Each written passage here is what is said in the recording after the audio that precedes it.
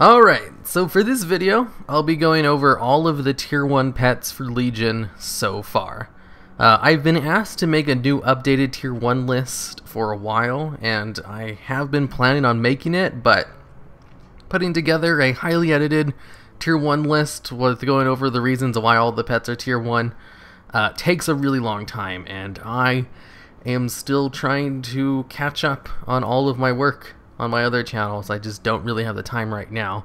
So I thought instead of just putting the video off, you know, until the end of the expansion, uh, I'll just do a low edited one where I just, you know, go through all of the pets and talk about all of the tier 1 pets in a not super highly edited video. Uh, and then I'll just do the highly edited one later if I ever get around to it because I am pretty busy and uh, pet battles is a hate to say low priority for me. So in order, let's just get started. I'm going to start off with all of them as uh, their types. So I'm just going to go through the list of types in rematch, starting with humanoid pets. So first off, we've got the Ore Eater. Ore Eaters are still tier 1, but they're no longer as good as they used to be, but they're still good enough to keep tier 1 status. It's just the types matter a lot more than they used to. Because it used to be they were tier 1 and every single breed was tier 1, but now some breeds are better than others. I'd recommend using the SS Ore Eater, uh, but you can also use the Power Power Crusher. Uh, Crusher and Ore Eater are basically the same thing. So I, when I talk about Ore Eater, I'm talking about Crusher as well. Uh, they have like the same move set that you're going to use, which is Acid Touch, Shell Armor, and Body Slam. Shell armor used to only have a two, I mean, used to last for three turns. Uh, now it only lasts for two turns, so now you can't get two body slams out of it. Because the overpowered thing about it was being able to throw up Shell Shield and take like almost no damage for three turns while getting two body slams out of it. Uh, now you can only get one body slam out of it while taking no damage.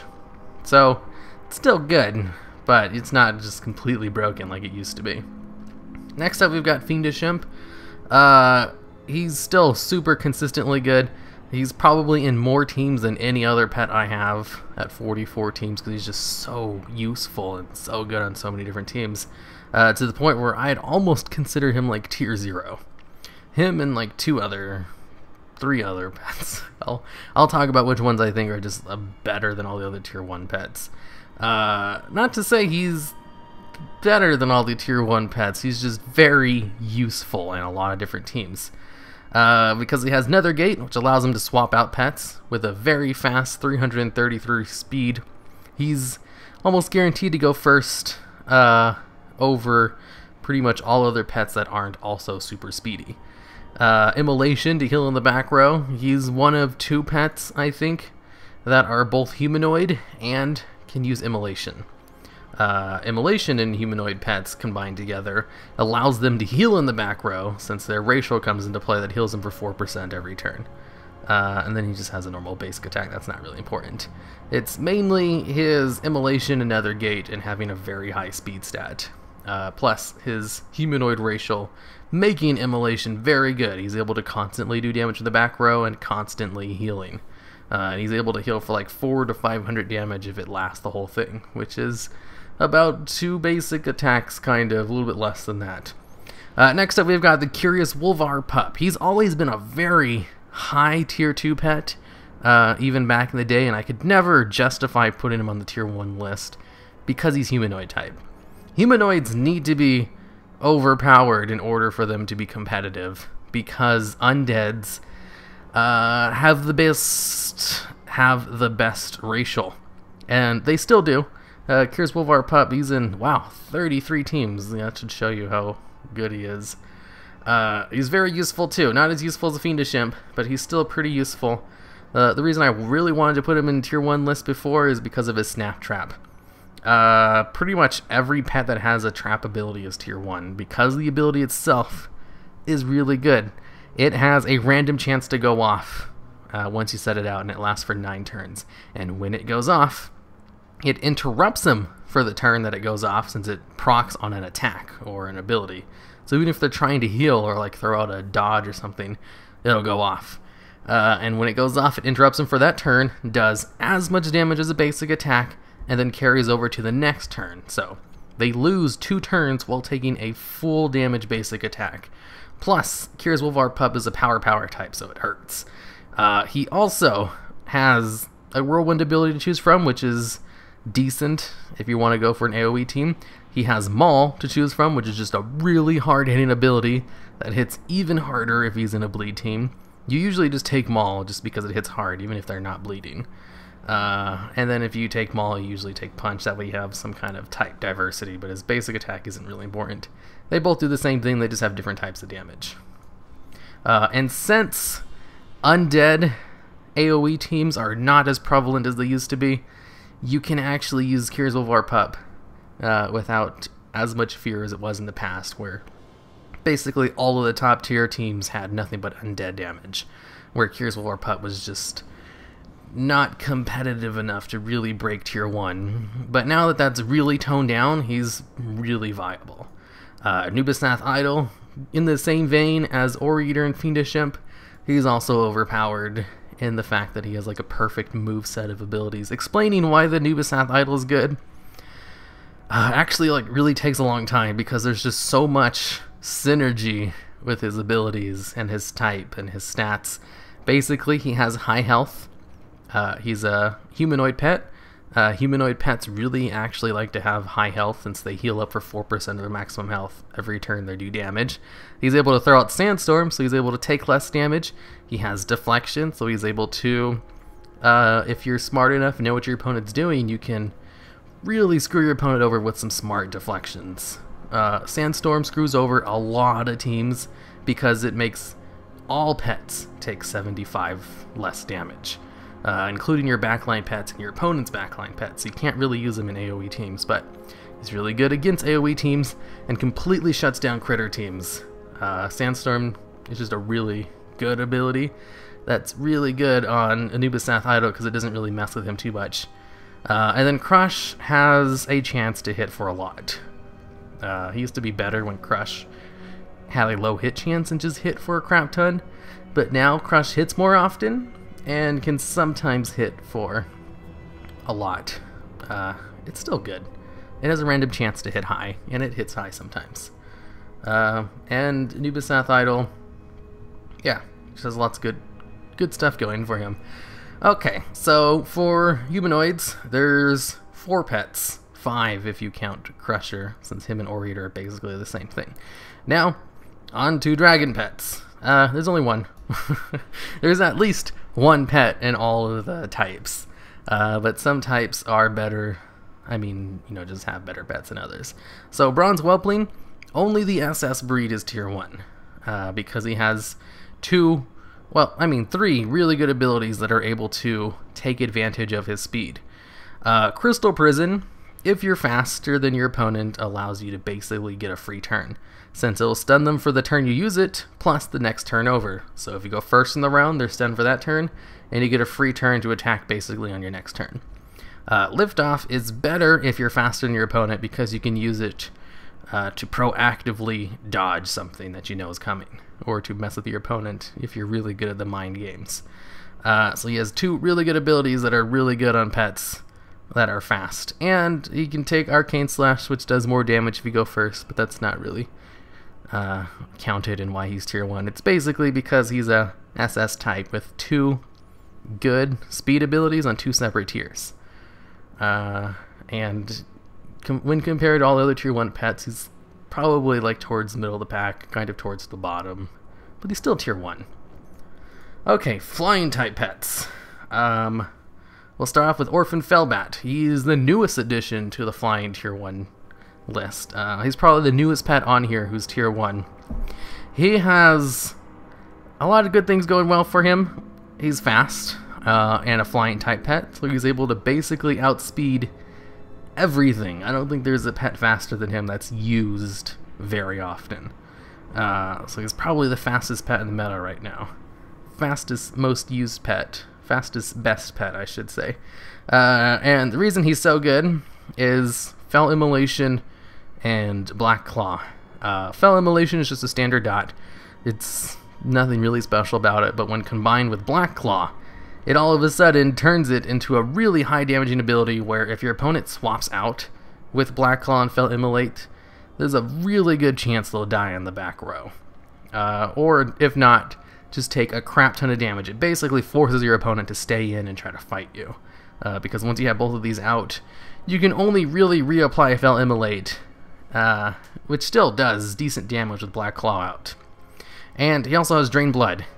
Any kind of heal on a flying type pet is usually better than on other kinds of pets, because flying type pets need to be above 50% health to keep their racial active, uh, which increases their speed by 50%. And Drain Blood is a really good heal because it does damage to your opponent, uh, only 10% of their maximum health, but it heals you for 300% of the health drained. So it's a pretty big heal, even on just normal pets with like 1400 health. And it's amazing on higher health pets, obviously. So, uh, it's able to do a lot of damage, outspeed pretty much everything in the meta, and heal up for a ton. He's just really good. Uh, Inky isn't tier 1. I, I must have set him as a favorite by mistake. Uh, Jungle Beak isn't really either. Oh, I think I put him in here just to talk about him later. Uh, Fledgling Warden Owl.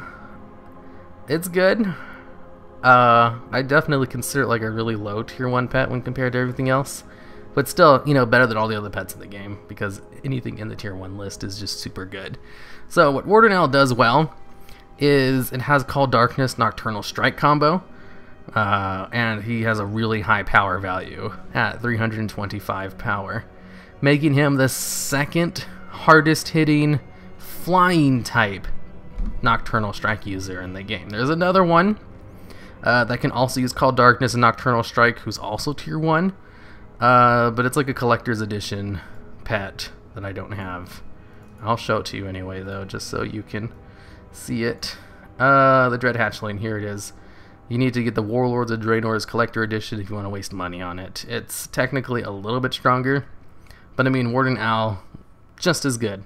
He has like, what, uh, 10 less attack power or something? Let me check. He has 325, and the Dread Hatchling has 337. So, what is that? Like 12 more attack power, which is pretty good. 12 more attack power.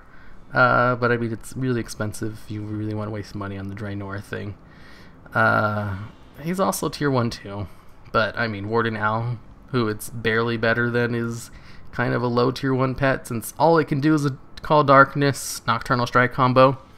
If your opponent's able to deal with that, he's taken out pretty easily because he's not very good at healing. But the reason he's tier 1 is because that is still just a really good combo. It does a lot of damage. Plus, it counters a lot of the best teams in the game because a lot of the best teams heal. So having a Call Darkness out to change the weather where all pets now take 50% less healing is really good in the meta. So not only is it just a really good combo that does a ton of damage, it also is really good against meta pets, like some of the best ones. Uh, which is why he's tier 1 and uh, he's fast too, so he usually goes first. So you're almost guaranteed to get off the combo unless your opponent's able to stop it. Uh, okay, let's go back to the other flying type pets. So we got Orphan Felbat, Fledgling Warden Owl, plus the Dread Hatchling, and plus crows too. Uh, there are a couple of crows that are pretty strong, but I mean, Warden Owl is stronger than them. Uh, and then we have the Teroclaw Hatchling. Teroclaw Hatchling is like a tier 0 pet. He, I said earlier with the Fiendish Imp that he's so good and he's so useful and in so many teams. Well, Teroclaw Hatchling is better. Uh, he's probably the best pet in the game right now. Uh, and that's because, like a lot of tier 1 pets, he has a lot of good things going for him. Uh, first off, flying type pet with dodge. If you're faster than your opponent, dodge is infinitely better than if you're slower because it allows you to dodge for the turn you use it plus the turn after, so you get two turns of dodge out of it. Uh, he has Nature's Ward. I'm pretty sure Teroclaw Hatchling is the only flying type pet with a hot. Uh, Nature's Ward is a really good hot too. Heals you for 125 health, every turn for 5 turns. And it changes your type to elemental only for damage. You're still a flying type pet. It's just you no longer take damage as if you were a flying type pet. So if they use like aquatic damage, you take more damage now.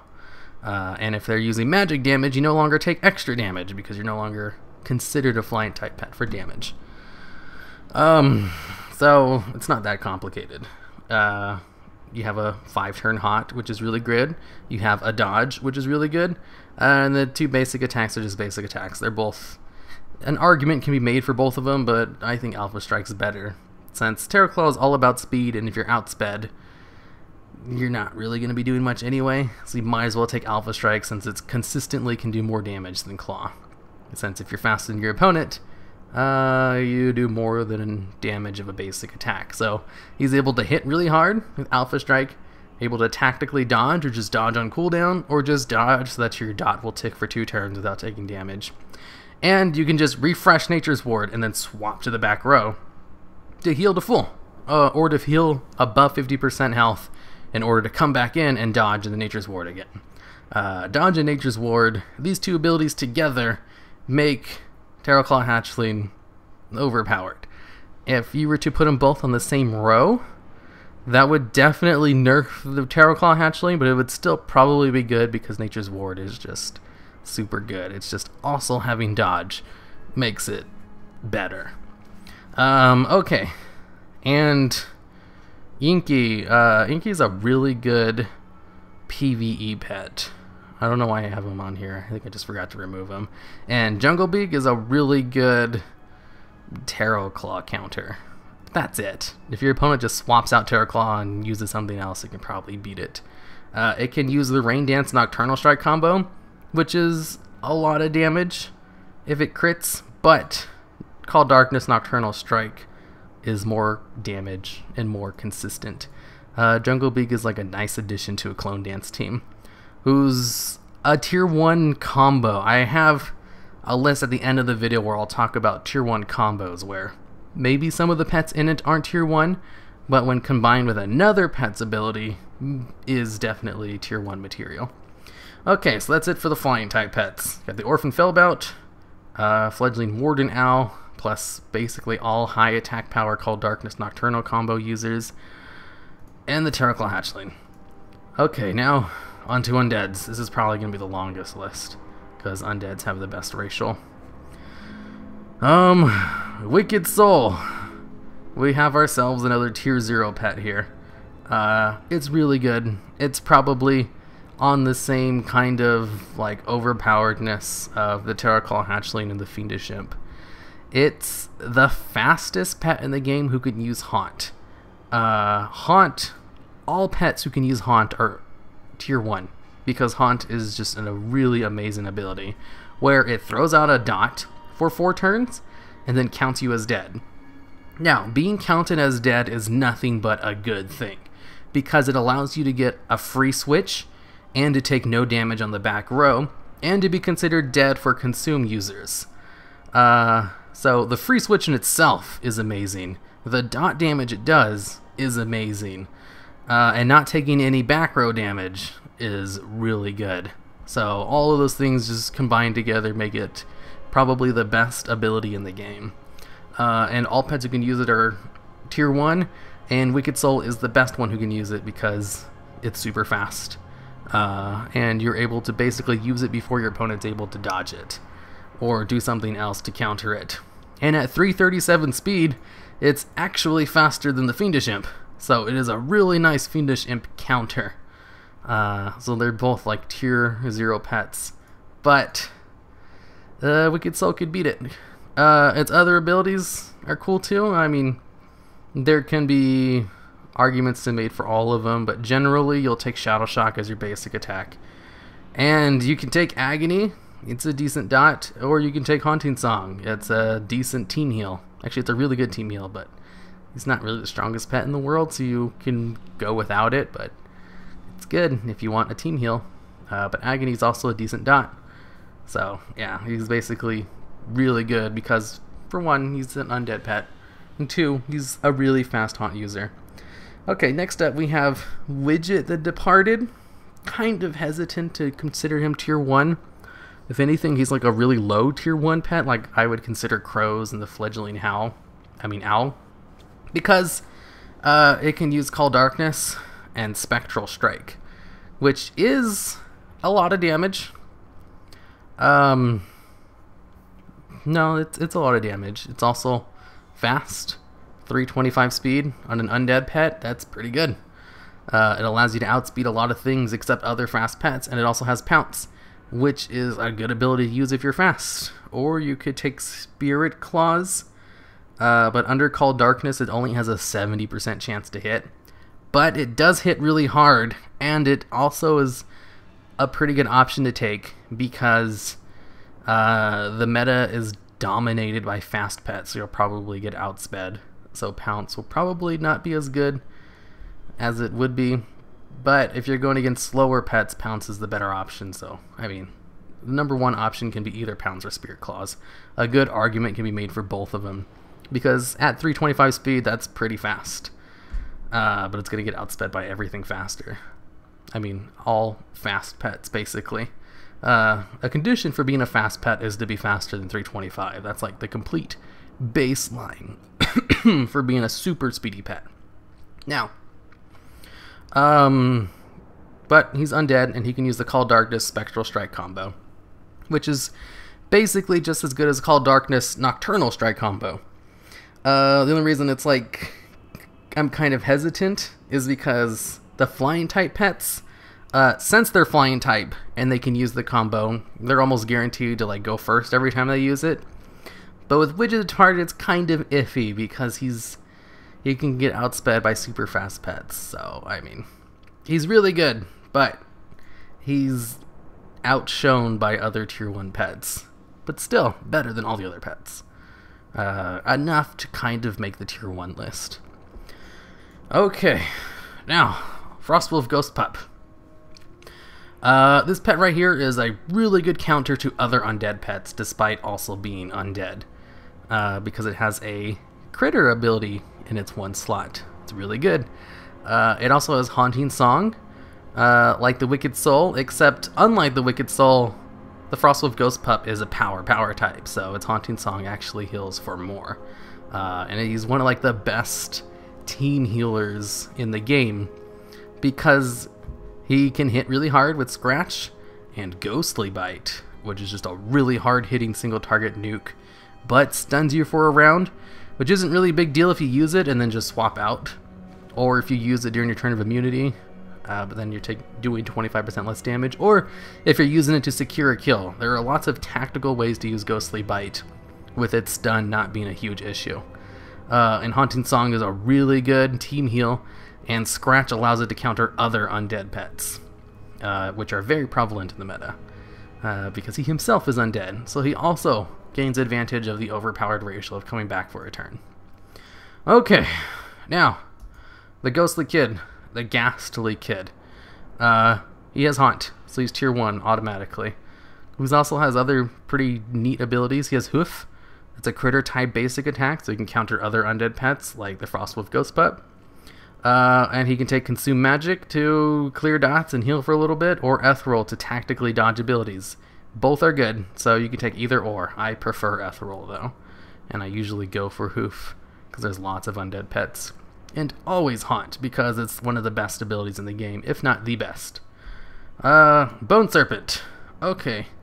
With Bone Serpent, we now have the last tier 0 pet. It's ridiculously good. On the same, or some people might even argue it's the best pet in the game. I wouldn't say that, I'd say it's probably Teroclaw Hatchling. Uh, but I mean, he's still really high up there. The reason for that being, uh, Teroclaw, not Teroclaw, the Bone Serpent is the strongest pet in the game who can use the Call Darkness Nocturnal Strike combo.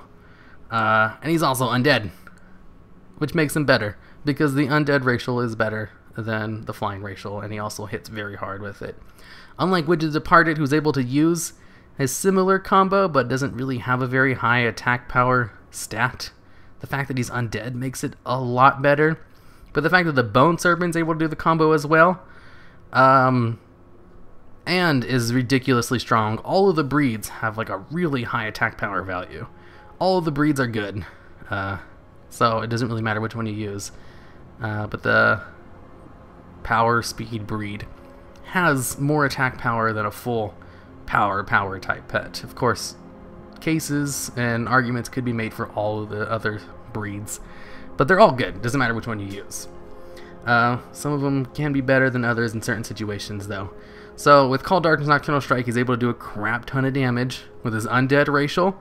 Uh, he's guaranteed to put out the crap ton of damage, and it has Bone Barrage. So while Widget the Departed and Crows, uh, like they're good, but they can be countered. Bone Serpent, since it has Bone Barrage, is able to take out like its natural counter, uh, the decoy or bubble abilities, because Bone Barrage is a multi-hit ability, which will hit three times and then put a dot on them for four turns, which all eat up shots of decoys or bubbles. Because one of the best ways to stop a Call Darkness Nocturnal Strike combo is to just block it or avoid it. And the Bone Serpent can get rid of one of those blocks, while the other ones can't, and they just kind of have to attack it for two turns and lose those turns of damage. Bone Serpent can just naturally counter those as well, while also just hitting ridiculously hard, and having the best racial in the game. Bone Serpents are really good. You can just make a full team of Bone Serpents and probably beat pretty much anything. Uh, plus, you know, Darkness just naturally counters a lot of the healing teams that are in the meta as well. He just has a lot of things going well for him. Uh, Son of Sethe, he's good. He's one of the only pets in the game that has a heal on all three slots. Uh, it has an overinflated attack power value for being a mixed breed. Uh, power speed. Uh, this is not a power speed bred. He's way too slow for those kinds of stats. Uh, so he has drained blood. Like I mentioned, the Orphan Felbat. It's a really good heal. Uh, Touch of Animus, another really good heal if you're able to actually hit your opponent with it, and combos well with a lot of other pets. And he can just take Absorb or Plagued Blood. Plagued Blood is like a lesser version of Touch of Animus, but it doesn't have a cooldown and lasts for five turns. And Absorb, it's just you heal for the damage you do, and it usually does about half the damage of a basic attack. So, uh, Son of Sethe is just able to survive like crazy against a lot of pets uh, and also hits really hard while doing all that. And is undead, has the best racial. Okay. Now, Blightbreath. Um, I'm actually not too sure about this one. He's good, but when compared to other tier 1 pets, I don't think he's really that good. Uh, but he is nice in some certain teams. So what he has here going well for him is Acid Rain and Dreadful Breath combo. Acid Rain is an AoE weather ability, uh, which buffs aquatic type moves. Dreadful Breath, despite being a humanoid ability, does extra rain. I mean, does extra damage if the weather is cleansing rain, which he can throw out. Uh, Blightbreath is like one of three pets that can use both the weather effect, cleansing weather, and Dreadful Breath. Uh, there of the other two pets who can do it, he's the only one that's undead. You know, giving him the best racial, which is great. Uh, he doesn't actually hit as hard some of the other ones though. His hardest hitting breed is only at 297, which is good enough. He also has pretty high health, which is neat on a undead pet.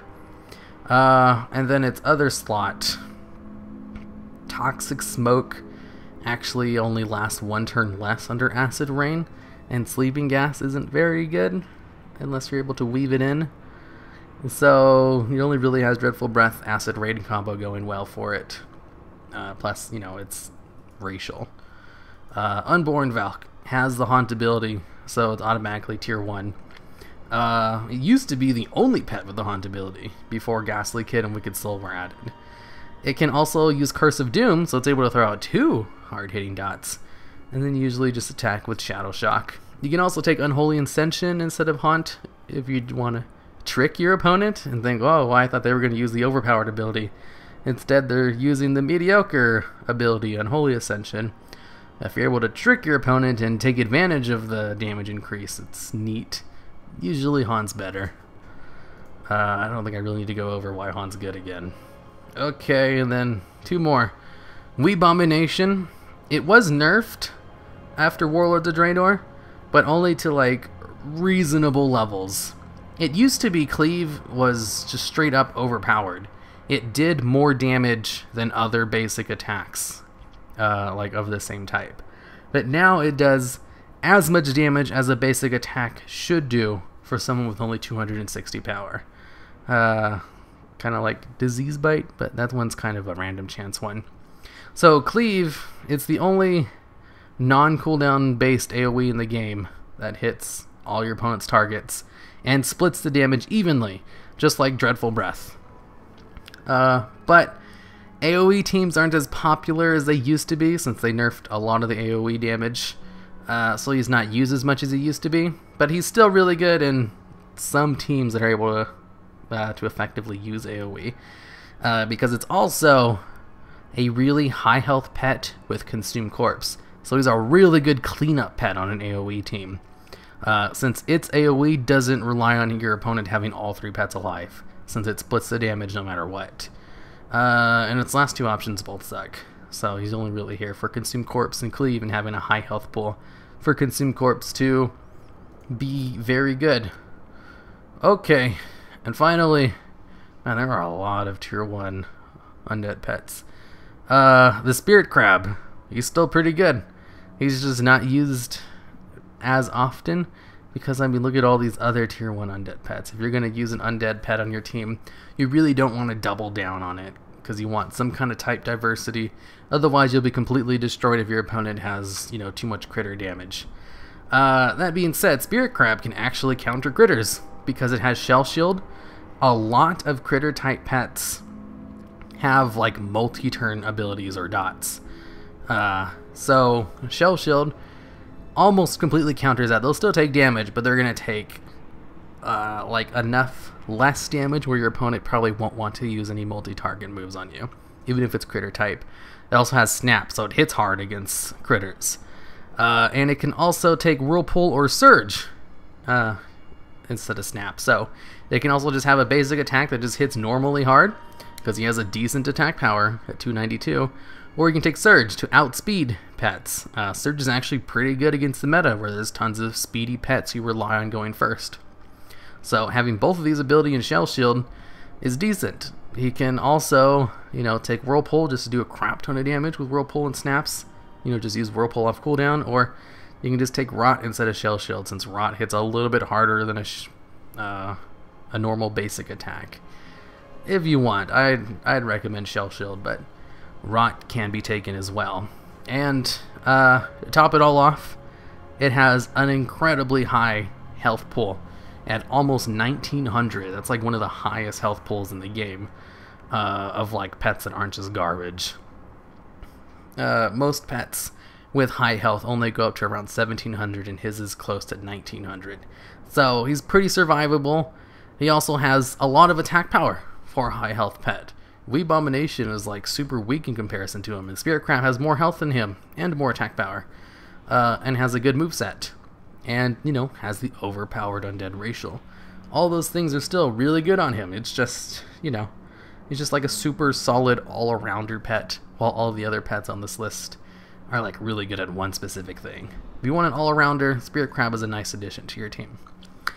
Uh, since he doesn't really counteract with a lot of teams. So how many undead pets are on this list? Let's see. One, two, three, four, five, six, seven, eight, nine, ten. Ten tier one undead pets. Yeah, there is not going to be any other type that has that many. Undead racial. Alright, on to critters. Now, critters, uh, rabbits. All SS rabbits are tier one, and pretty much all rabbits, even like special event rabbits, are able to take the same move set. In order for a rabbit to be tier 1, they need Flurry, Dodge, and Burrow. Uh, Flurry is the only multi-hit move in the game which is able to take out decoys and bubbles, which makes it better than all other multi-turn moves. Uh, Dodge on fast pets uh, is better than on non-fast pets because you get one extra turn out of it. And Burrow, like Liftoff, is better on fast pets because you can use it tactically to avoid abilities first in the round. You can also just use it to not take damage for a turn while dodge comes off cooldown. Uh, so that's one turn in which you're not taking any damage, and one turn in which dodge, you know, is coming off cooldown. I don't think I really need to explain that. uh, Rabbit's on here, uh, even though it doesn't actually have Flurry. It's it's really good in bleed teams. It doesn't have Flurry though. He's not tier one. I just have him on here because he's basically a rabbit just with a, a dot instead of Flurry. But Flurry is a big part of why rabbits are tier one. Uh, Dust Bunny, I just have him on here because he's basically a rabbit as long as you take the move set Flurry, Dodge, and Burrow. Noble Garden Bunny, same thing. He has. Oh wait, Noble Garden Bunny is actually a little bit slower than a rabbit. Huh. Never noticed that, but he has a little bit more attack power as well. I might actually be try using this more often, because usually the 357 speed is more than enough to outspeed pretty much everything. I think I might be trying the Noble Garden Bunny from now on when I use rabbits. I didn't know he was slower and had a little bit more attack power. Uh, at 341 speed, that's still ridiculously fast. It's still good enough to just take Flurry, Dodge, and Burrow. Uh, you can basically just ignore the other flavor abilities they have. Okay, so that's bunnies out of the way. I'm just going to put them all under like one. All bunnies that are SS are tier 1, as long as they're able to take Flurry, Dodge, and Burrow. Uh, next up, we've got the Sneaky Marmot. This is one of the newer additions to the tier 1 list. Uh, the SS breed, pretty fast, 341 speed, has Blinding Powder, which is a better blinding poison because it has a one turn less cooldown on it. It only has a three turn cooldown. If you're faster than your opponent, uh, you put up the debuff for 100% reduced hit chance, and it lasts that turn plus the next turn after, and then you only have to wait two more turns before you can use it again. So your opponent's blind like a third of the time because of its short cooldown. Uh, and that's the reason Blinding Poison got nerfed in the past because it was too overpowered with the. Actually, I'll talk about that pet later. D- just to say, Blinding Powder is really overpowered right now on the Sneaky Marmot because he's the fastest pet in the game. Uh, he's the fastest pet who can use it. Actually, that's not true. There's flying type pets that use it, but they're useless because they have garbage abilities. He actually has decent abilities to round it off. It can also take Burrow. Uh, like I said, with liftoff and the Bunny Burrows, you can use it to basically not take damage for a turn while Blinding Powder comes off cooldown. Uh, I guess Smoke Bomb can be used the same way, but I'd highly recommend Burrow because it also does a lot of damage. And for its one slot, I mean, both the basic attacks are okay. If it had Flurry, uh, Sneaky Marmot would probably be better than Rabbits and might even be tier 0. That's how good Flurry is. But since it doesn't, and it just has two normal basic attacks, he's just tier 1. Still super good, but he could have been even better if he just had uh, Flurry instead of Chomp. Okay, now we have the Prairie Mouse. The Prairie Mouse is the only rat in game that has Poison Fang and Flurry on two separate options. All the other rats in the game, for some reason, have like Flurry and Poison Fang on the same option where you have to take either or. You can't take both. Having them in two separate ones allows you to take Flurry, which is, like I explained earlier, the rabbit's just a really good ability that can break decoys. Uh, Poison Fang is a decent dot. There's nothing really special about it except the fact that it does extra damage to uh, mechanical type pets. And since it can both take out decoy uh, and then do a crap ton of damage to mechanical pets, which are like the number one pet that uses decoy, he's a really good decoy counter. Plus, Flurry is really good against undead pets. And like I showed earlier, there's 10 tier 1 undead pets, so you see those a lot. So that's really good. And also has survival, which allows it to basically go on for two more turns after it should die if you're faster than your opponent. Since when you use survival for one turn, you just cannot die. So if you use that and you go first in the round, uh, well, I mean, I guess you can just go into the next turn and just attack him, and then swap him out, and he'll have like one health. And as long as your opponent doesn't have an AOE, you can actually bring him back in and use survival again to survive for another turn. Uh, and it basically gives you a pseudo undead racial. It's a good move because it gives you uh, kind of the undead racial. You still have to use a turn to use it. Uh, that just shows how good the undead racial is. That an ability that kind of simulates it is considered good on a fast pet. Uh, but even with all that, he's just a really good meta counter. On his own against like other non-meta pets, he's just okay. Decent, but good enough meta counter to be tier 1. Uh, and that's why a lot of the critters are tier 1, honestly, is because they're meta counters. Because there's just so many undead pets that are good. Okay. Now, for the magic type pets. There's two-ish. I'm kind of hesitant to put Servant of Demidos on here, but at first I'll talk about Hyjal Wisp. Hyjal Wisp, for sure, is a tier 1 pet. Uh, it's a fast pet who can use dodge. Fast pets that can use dodge are pretty good.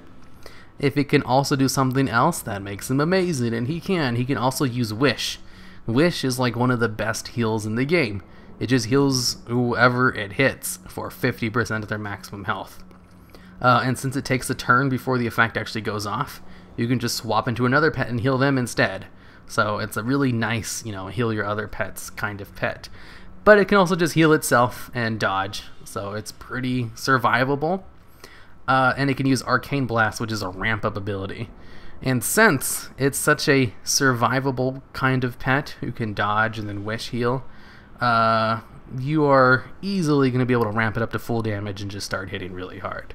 Hyjal Wisp, super good. Servant of Demidos.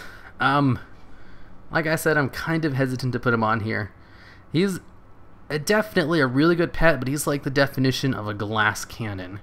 He'd be so much better if he was like undead or mechanical, you know, had a good racial.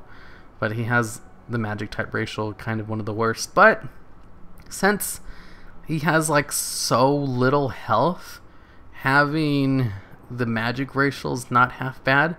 Since the magic racial means they can't be hit for more than 35% of their maximum health uh, in one attack. So he can't be one shot, but a lot of the pets in the meta use like dots or multi-turn moves. So he's kind of useless against them, but you know, against like everything else, he does amazing because he has an incredibly high attack power value at 366. Like one of the highest in the game, and he has three abilities that take advantage of the attack power. Soul Rush is just a really hard hitting single target nuke with a 25% chance to stun. Uh, Siphon Anima is basically a, a, basic attack, which also heals you for the damage it does. And since he has a super high attack power value, it just hits harder than a normal pet's basic attack. And also will heal him for quite a bit. Uh, giving him some nice healing, actually, if you're able to use it smartly. And then Magic Sword. It's probably one of the best basic attacks in the game, in that it does a basic attack's worth of damage. Uh, maybe a little bit less, but since Servant of Demidos has so much attack power, it still hits harder than a normal basic attack, with the added effect of having a 50% increased chance to crit. So, the baseline crit chance is 5%, so you have a 55% chance to crit when you use Magic Sword, and that's just your basic attack, so uh, he has a chance to hit for 50% more damage every time you use it. Or if he, it doesn't, it just hits for a normal basic attack's worth of damage when considering other pets uh, a pet with his attack power value should hit harder. Siphon Anima is actually how much he should be hitting for the basic attack. But I mean, he hits so hard that even if it doesn't crit, it still hits hard. He's just a super hard hitting pet with good abilities that take advantage of his attack power. But a lot of the pets in the meta use multi-turn moves and dots, and they're kind of able to take him out. But if you're smart with him, he's good, and he's also just really good against like non-tier pets, uh, which is good enough to make him like a low tier 1 pet. Elekk Plushie isn't on the list. I just have him because I like to use him on gimmicky teams. He's not half bad if paired up with very cooldown reliant pets, since he's the only pet in the game with a, a free switch. With no cooldown, I should say. But he can't attack, he just has like, the highest health pool in the game. Um, okay. Elemental pets. There's only four of them when compared to only two magic type pets, and I'm kind of iffy on the Servant of Demidos. So, the elemental pets. First, we've got the Blossoming Ancient. I should probably talk about the Blossoming Ancient and the Singing Sunflower together, since they're both basically on here for the same reason. Uh, they're one of the only two pets in the game that can use both sunlight and photosynthesis. Uh, photosynthesis does double healing under sunlight. Sunlight um, increases healing by 25%. So it does double healing plus 25%, and it's a five turn hot. Uh, so they can basically just stay in and attack as much as they want, and then swap out, and then heal to full. Like, no matter what. Uh, Singing Sunflower can do the same thing. You just stay in, maybe use Solar Beam, take a crap ton of damage, and just refresh Photosynthesis, and then swap out. Basically, just having Singing Sunflower and Blossoming Ancient on the same team, you can just have them come in, attack a little bit, Photosynthesis, and then just swap out and heal back to full. It's so much healing that it's kind of overpowered. Uh, there's also another pet in the game called Broot, who's a Druid Order Hall pet with like the same move set to the Blossoming Ancient. So everything I say for the Blossoming Ancient also applies for Broot. I just don't have them. Um, Magma Rageling and Little Ragnaros. They're kind of tier one for the same reason. Uh, they both have Magma Trap. Magma Trap is exactly like the Curious Wolvar pups uh, Snap Trap ability. In that, you put it out, and it has a random chance to go off. And when it goes off, it interrupts him for that turn and stuns him, and it carries over to the next turn and does as much damage as a basic attack. And both the Magma Rageling and Little Ragnaros uh, are power power types. Uh, and Magma Rageling has more power than the average power power type, which makes it even better. And Little Ragnaros has the highest attack power value of all pets, which makes his even better. Uh, Magma Trap is like the reason they're on here. It is just a really good ability, even if it is luck dependent. The ability is so good that it's kind of worth aiming for the luck. Uh, and Magma Rageling, sorry, also has Flame Jet. It's a nice single target nuke that has a 50% chance to also dot them up. Uh, it can also take Flamethrower, which is a decent basic attack. It can use Magma Wave to destroy Magma Trap early, which will, for some reason, it makes it do the damage and the stun as well. But unless you're going first, uh, it's not going to interrupt them for two turns like it would be if you just let it go off on its own. But you can manually activate it yourself with Magma Wave.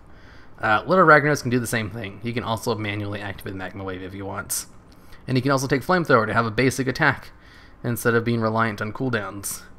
Uh, I wouldn't recommend that. I'd recommend just taking Flamethrower and not trying to break it on your own. Uh, Little Ragnaros also has other combos he can use besides Magma Trap. He can also use Flamethrower and Conflagrate. Uh, having the highest attack power value in the game means that's enough to kill a lot, a low health pet. It's a lot of damage. Uh, it can also just take Magma Trap and then Sons of the Flame, which is a good dodge ability. And usually, best bet is just to go with Sulfuras Smash, uh, because having the highest attack power value in the game, his basic attack hits about as hard as other pets' cooldown based abilities. He's a really hard hitter. And he has an overpowered ability, which makes him tier 1. Um, so for elemental pets, we've got four pets. Five if you count Broot. But Broot is basically just Blossoming Ancient. It's just a clone of him. Okay, now we've got Beast type pets. There's only four of them. Uh, Death Adder Hatchling and Rose Taipan are literally the exact same pet with just like one different move. Uh, but they always use the same moveset. They have the same stats. You want to use the SS breed for both of them. The only difference is Rose Taipan is a lot easier to get since it's just a wild caught pet. Uh, Death Hatchling has the Blinding Poison Puncture Wound combo. Blinding Poison uh, reduces their chance to hit by 100% for one round on a four turn cooldown. It used to have a three turn cooldown, like the Sneaky Marmot's Blinding Powder, but that was overpowered, so they nerfed it. But Blinding Powder is still at three turns, so the Blinding Powder is actually better than the Death Adder Hatchling's uh, Blinding Poison. But unlike the Blinding Powder, Blinding Poison will count the target as both blinded and poisoned. Uh, which means you can use Puncture Wound, which does double damage if they're poisoned. If not, it just hits as hard as a basic attack. You can also use Poison Fang. Uh, usually your opponent has lots of switches, so smart uses of Poison Fang can sometimes get dots on multiple pets. Otherwise, you're stuck with spamming Poison Fang once your two cooldowns are done. Uh, and also, Puncture Wound used to have a three turn cooldown as well, but they nerfed that because that was also strong. Death Adder Hatchlings used to be tier 1, and then they nerfed them, and now they're not. Instead, I mean, and then they nerfed them, and then they're still tier 1. They're just not tier 0 like they used to be. Rose Taipan is the exact same. Poison Fang, Puncture Wound, Blinding Poison, same speed, same attack power, same health, just a different skin, and easier to get. Uh, the Alpine Foxling. He's a really good support pet who's also really good on his own and really good on basically any team he's on because the SS breed with Dazzling Dance can actually outspeed the Teroclaw Hatchling, uh, which gives him a huge advantage over him. Dazzling Dance also buffs your entire team, so your whole team just has 25% more speed. And speed is really good in pet battles, and a lot of the top tier pets rely on their speed. So giving all of your pets a speed bonus against them can really screw up a lot of strategies. Uh, it can also use Flurry, which is good against undead pets and breaks decoys, which is amazing. Uh, and it can also crouch, which is really good on beast type pets because they do 25% more damage when they're below 50% health. So if you crouch when you're near 50% health, you'll be able to safely stay under that without dying longer and be able to attack for more damage. Uh, so the SS breed of this, I think it's the fastest Dazzling Dance user, who also, you know, has Flurry. It's just really good. Uh, Vengeful Porcupette. Vengeful Porcupette's tier 1. Uh, it is a really good cleanup pet, and it's kind of hard to use. Like, look at him. He's in 25 of my teams. If I need a cleanup pet, uh, I'll usually just throw on the Vengeful Porcupette because he's rarely bad. Uh, he's really good against undead pets because he has flank. Uh, it can power ball until it's faster than any pet, and spirit spikes. If you're faster than your opponent and you go first, you apply it for one turn. And what it does is it reduces damage by up to 150, which is neat. That's like half of a basic attack. But if you do take damage through spirit spikes, your opponent will take damage equal to a basic attack. So it's like a reflective shield. Uh, if you're able to use it first, not only will you take less damage, but you're also doing damage to your opponent fully. So it's a defensive, offensive move, and it's a really good one at that. Uh, and if you're faster than your opponent, you get it for two turns. The turn you use it plus the turn after. So your opponent will usually just not attack you to not take the damage. Or if they do, you take reduced damage. It's win-win for you. They don't attack you, you get attack them with impunity for a turn. Uh, and in order to get faster than your opponent, you can just Powerball. Powerball will increase your speed by 20% every time you use it, and the speed boost is permanent. So even if you swap out, you'll keep the speed boost. Uh, and then you can just use Flank. Does extra damage if you're faster than your opponent. Good stuff. Lots of good combos. And pretty decently high health. So he's able to survive for a long time under 50% health. So he's able to hit hard thanks to Spirit Spikes. Uh, you know, allowing him to survive under 50% health. And being able to flank with that.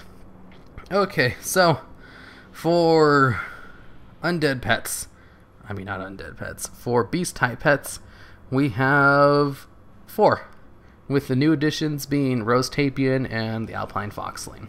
Alright, onto the last two types. Next up, we've got aquatic type pets. First off, the Hydraling. He used to be a lot better back in the day when shell armor was still overpowered, but now he's just good. Uh, he can still use shell armor, which is still really good. Uh, aquatic type pets have a really good place in the meta since they take less damage from undeads, which is like one of the most common pets. Uh, and shell armor, being an aquatic type pet and just having an overpowered ability, just makes it pretty good.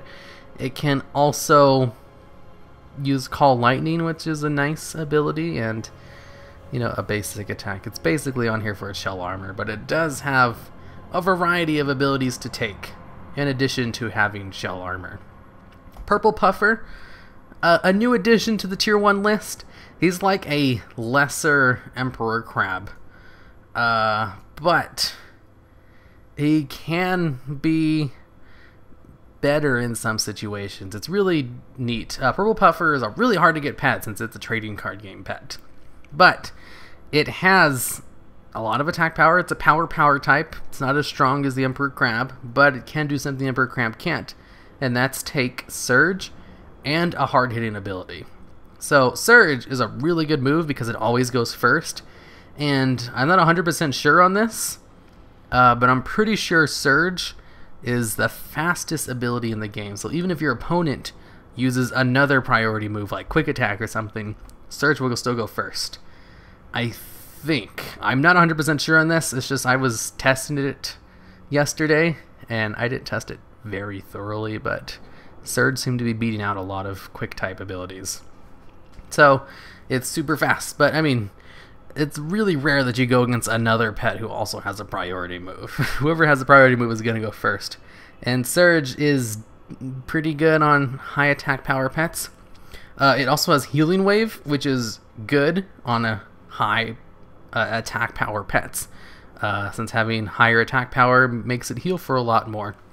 And it heals for about two basic attacks worth of damage, which means it's worth using it on cooldown, basically.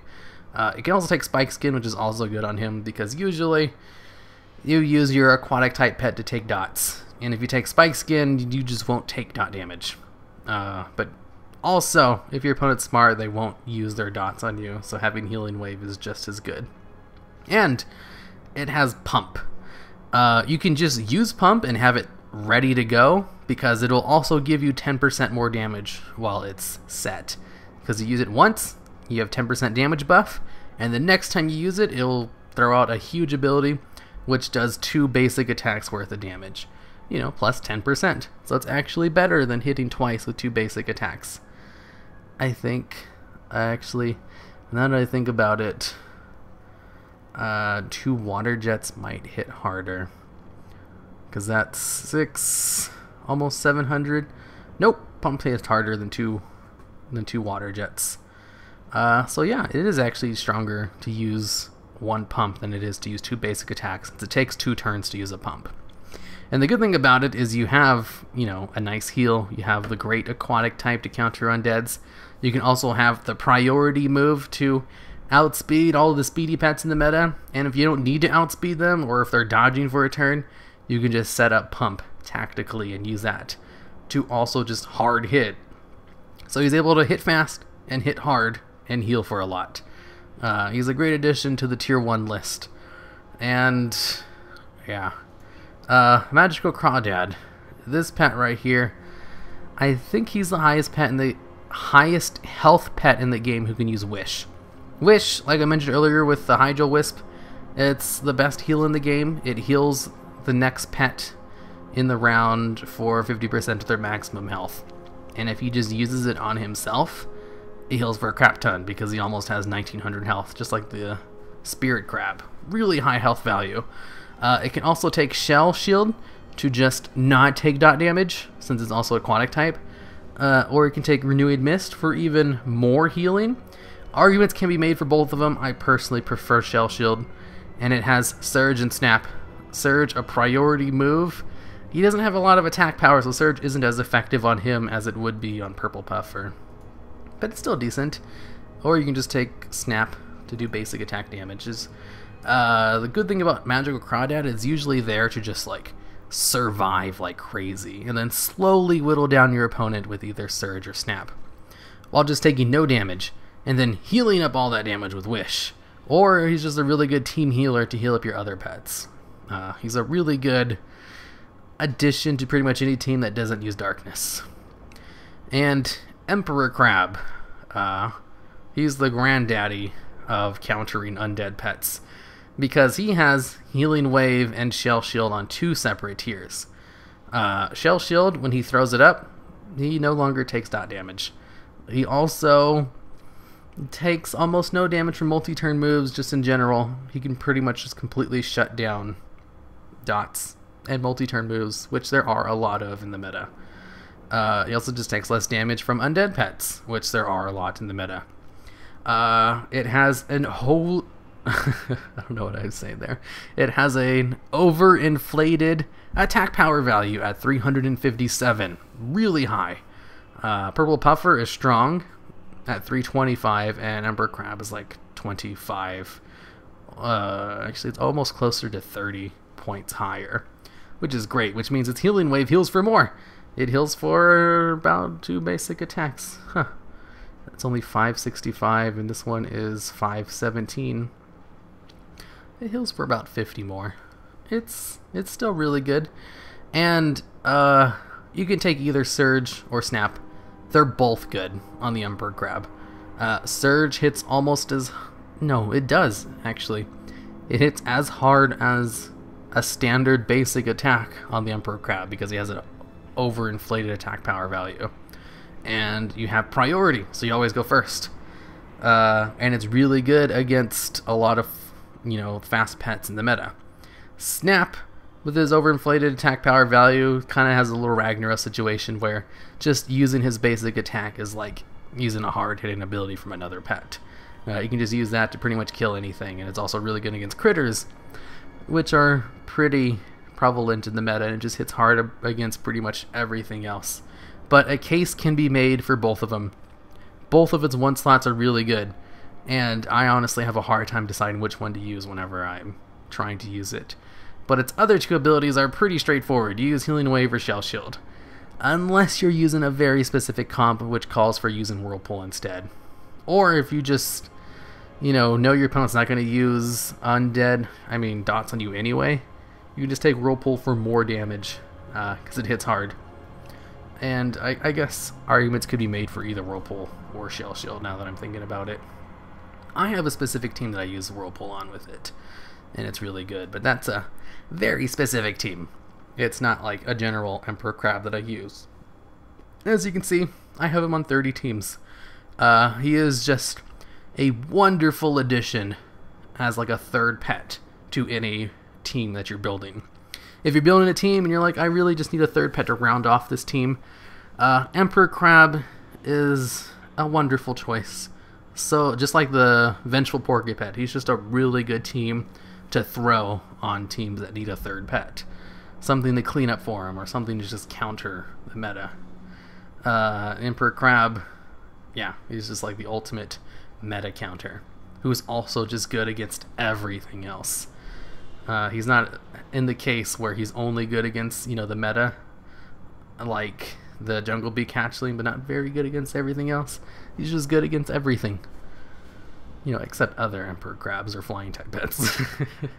and last but not least, uh, actually, I should probably say, what was it? There's one, two, three, four aquatic type pets that are tier 1. And I'm kind of iffy on Hydraling now. But definitely Purple Puffer, Magical Crawdad, and Emperor Crab. Hydraling too, kind of, but the other three are better, I think ever since they nerfed Shell Armor, which is still a good ability. Okay, now we've got mechanical pets. Only two? Uh, that is a step up. It used to be just mechanical Pandaren Dragonling. Uh, this is actually kind of a tough thing because the mechanical racial is really good. It's the second best racial in the game. It's just there aren't too many overpowered mechanical pets. Blizzard does a really good job of balancing them to some degree. So it's kind of hard for some of them to really stand out above the rest because pretty much all of the mechanical type pets are just solid pets that are just good, but none of them like overpowered good to be tier one. You know, except these two, and I'll explain why. Uh, MPD, the mechanical Pandaren Dragonling, he's been like tier one since day one. He keeps getting changed a lot, and he's always survives his nerfs to just stay a very relevant pet. Uh, he's in 31 of my teams. He's also in the same realm of the Emperor Crab, Vengeful Porcupette, and the Fiendish Imp, in that he's just a really good third option. If you need a pet to throw on a team to just round it off, MPD, you can't really go wrong with him. He just combos too well with lots of teams. Uh, the MPD also has a distinction of just being a really good PvE pet. Not all good PvP pets are good PvE pets. Uh, most undead pets aren't very good PvE pets, but they're like the best pets in PvP. That's a really good example. And MPD is a really good PvE pet because he is a double counter to magic type pets. Uh, being engineering type, oh shit, that's not what he is. Being a mechanical type, there we go. He takes less damage from magic type abilities, and he has breath, which does extra damage to mechanical type abilities. Uh, there are very few tier 1 pets that are double counters to certain types of pets. Uh, actually, there's just very few pets in general that are double counters. Uh, but Mechanical Pandaren Dragonling is one of them, with Breath and being mechanical type. Uh, Flyby is a garbage ability, don't ever take it. Uh, its other two abilities, Thunderbolt is a really good AoE ability. So if you have an AoE team, he's a really good choice to put on it because uh, Thunderbolt does decent split damage. If use the last pet alive, it's just a good single target nuke. Uh, so it's always live. You can always use Thunderbolt. Uh, and then has Decoy. It's a decently fast pet who can use Decoy, so you can use it to tactically dodge slow pets. Uh, you know, to like block a really hard hitting ability or something. Decoy is just a good ability on its own. Uh, if you use Decoy, it automatically just has value for being what it is. It's just a really good ability, kind of like uh, Haunt, where all pets who have it are good because the ability itself is good. But Decoy isn't really overpowered like Haunt, so not all pets who can use Decoy are automatically tier 1. But all pets who have Decoy, I I think twice about when I like, hmm, should this be a tier 1 pet? because it has decoy. Eh, eh, not really. Its other abilities are kind of meh. The MPD though, he's a double counter, which makes him really good, but he also has Thunderbolt, which is uh, a very versatile ability that's good in a lot of different situations. And that's why he's tier 1. He's survived being tier 1 for so long. he's like one of the few pets who's been tier 1 since of Pandaria when pet battles were introduced. Uh, and back then it was basically just because he was the only decoy pet. uh, and then he just kind of keeps surviving on the tier 1 list. So he's used a lot, he's been used often, and he's a very common pet in PvP because he's been tier 1 for so long. And that's why people probably like have a higher perception of being of mechanical pets being used more often than they really are because mechanical Pandaren Dragonling is used so often. Uh, it's like one of the only ones. And then we have Alarm-o-Bot. Finally, another tier 1 mechanical type pet. He's a new addition added in Legion. Um, the reason Alarm-o-Bot is tier 1 is because, one, it has decoy. Like I said, whenever a pet has decoy, I always think, is this going to be a tier 1 pet? I really hope its other abilities are up to par. Uh, and it has an ability right here called Alert which is literally an overpowered basic attack. It does more damage than it should for someone with a really low attack power value of 244. Uh, alert should only hit for about uh, 240 damage, but instead it hits for almost 280, which means it's overvalued. Uh, it has an overpowered basic attack, which is neat.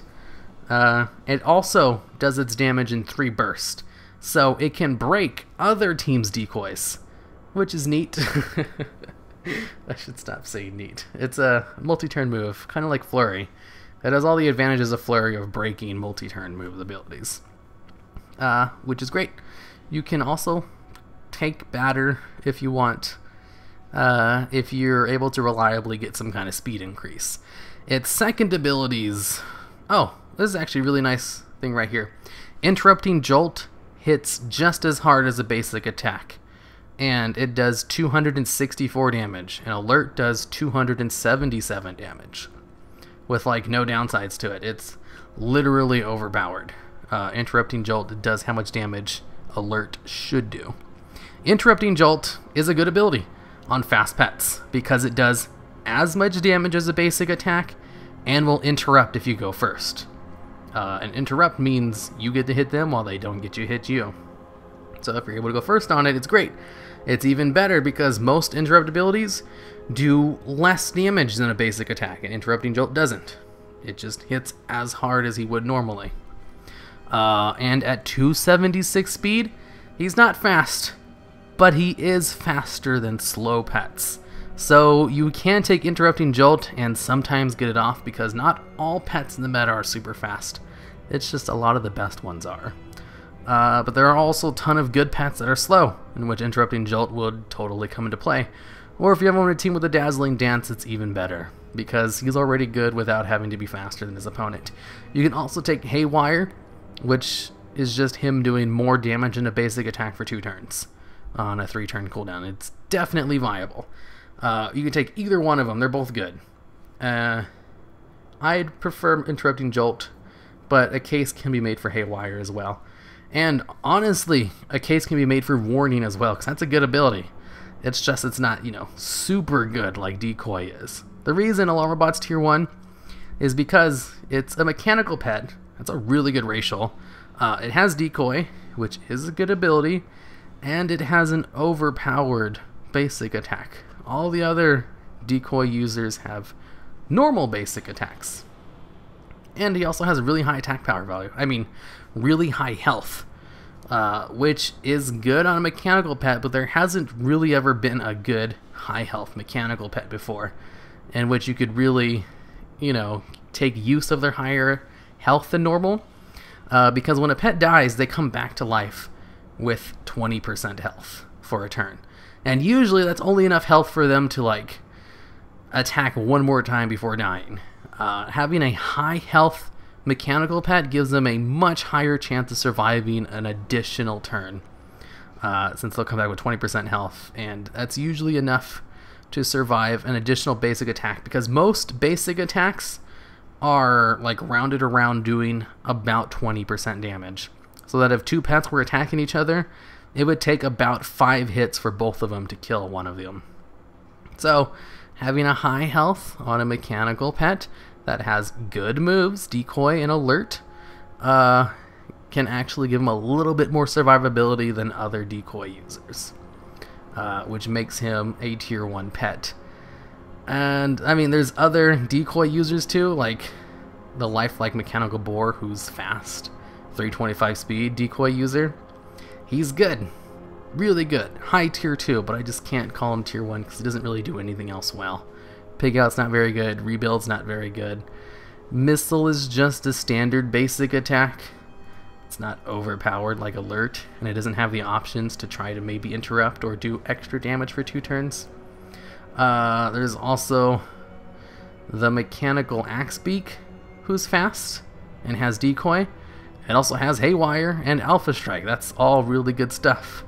But it's a flying type pet, which means once it goes below 50% health, it's gonna be it's still pretty fast actually uh, it just doesn't have the survivability of a mechanical type pet but it's still good just high tier 2 but it's not gonna be able to beat any of the really good pets but it'll probably do good against like you know all the other ones i'm really hesitant to put other decoy users at tier 1 uh, but MPD is good enough for tier 1 and Alarm-o-Bot I think is just good enough to be put on the tier 1 list above the other decoy users.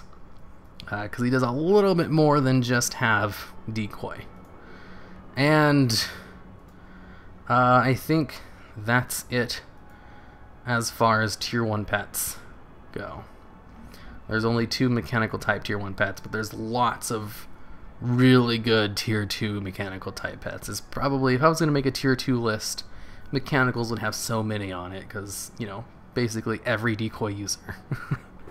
uh, plus a whole bunch of other stuff because their racial is so good. Um, okay, so now, now that I have all the tier 1 pets out of the way, uh, there's a lot of them.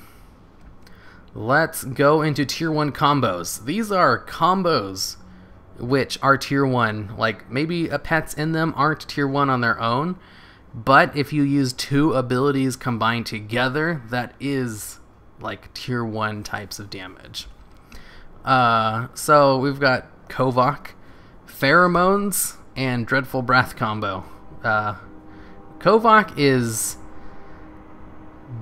like decent on his own. Uh, I have him in 29 teams. He's a good pet, but on his own, he's just not good enough. Uh, but on an AoE team, he's amazing. And that's why I have him like on a tier 1 combo, because on his own, he's not good enough. Like, in order to be a tier 1 pet, they have to be good on their own, or they have to support their team very well. Kovok needs support in order to do well. He needs an AoE team, so if you just throw him on an AoE team, he is amazing because of his uh, Poison Fang and Black Black Claw combo with Pheromones. If your opponent swaps out with Black Claw and Poison Fang and Pheromones is thrown out in the back row, they're going to die. It just does too much damage for them to survive that. Uh, and it's best used with like a Dreadful Breath, you know, Acid Rain, Dreadful Breath combo, or Weebomination to clean up. Just an AoE team. He needs an AoE team to be viable. On his own, he's just a solid tier 2 pet. Next up, we've got Clone Dance teams. Uh, basically, any pet that uses Rain Dance and any pet that can use Cyclone, that's a tier 1 combo. There are a ton of pets that can use Rain Dance. Jungle Beaks, uh, Jellyfish, Royal Peacock, Left Shark, uh, and Cyclone. There are tons of pets that can use Cyclone. The Fledgling Owl can use Cyclone. Icky can use Cyclone. Uh, there's a couple of dragons that can use Cyclone. See, I have one right here. Uh, one with overinflated attack power value. They can use Cyclone. If you combine Cyclone with Rain Dance, you have a tier 1 combo. Usually the best two pets for it are Jademist Dancer and Blighthawk, because Blighthawk's the only undead pet who can use Cyclone, and undead pets are really good. But on his own, is not strong enough to carry a team like all the other tier 1 pets would be able to do.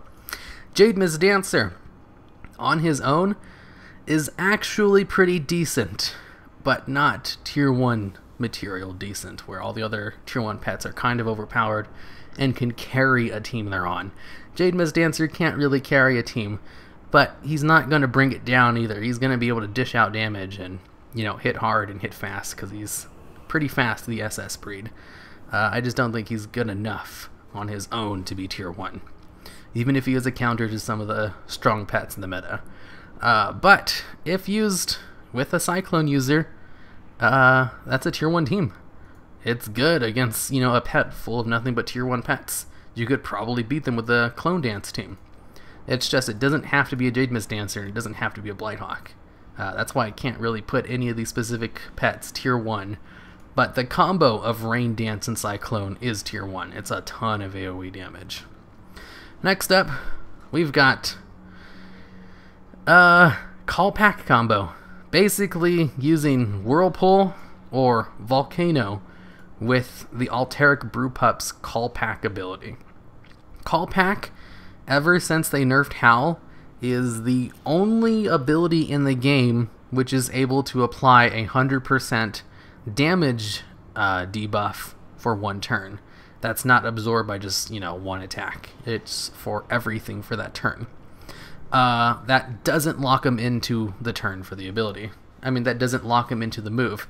Because there is Stampede that, like, rabbits can use. Uh, but if they use that, they're locked into the move for three turns. And it actually does less damage than normal. because it's balanced around the fact that they're going to be doing double damage during the stampede. Whereas Call Pack hits just as hard as a basic attack. Actually, it hits harder. Yeah. It's an overpowered ability now that I think about it. Uh, 325 damage for only having 289 health. I mean attack power. Uh, it's an overpowered ability. It's overinflated, just like Alert uh, with the Alarm-o-Bots. Oh, I never really noticed that. Uh, but Call Pack isn't really enough to make him tier 1 because his other abilities are like mediocre. They're okay, but they're nothing great. Good stuff is a decent AoE heal, but it only heals your backline pets. It doesn't heal him as well, like Haunting Song does. Tough and Cuddly is basically Crouch. It's good on uh, beast type pets, you know, if you use it when you're low on health. That way you can survive under 50% health longer. But he doesn't really have anything to take advantage of that extra damage, you know, besides Call Pack, which is on a three turn cooldown. And Call Pack is more useful when combined with a hard hitting ability on a timer, like Whirlpool or Volcano. If you use Whirlpool and then swap into the Alterac Brewpup and use Call Pack, your opponent almost cannot dodge the damage unless they know what you're doing, like immediately. And they're able to swap to a pet who has a dodge. Uh, because Call Pack can break Decoy in one turn. It hits three times and it doesn't lock them into the ability, and it puts up the debuff. So they'll take the hard hitting Whirlpool or Volcano. Uh, they'll have 100% debuff, so you can just attack them again. Or if you have even more dots up, they'll take more damage.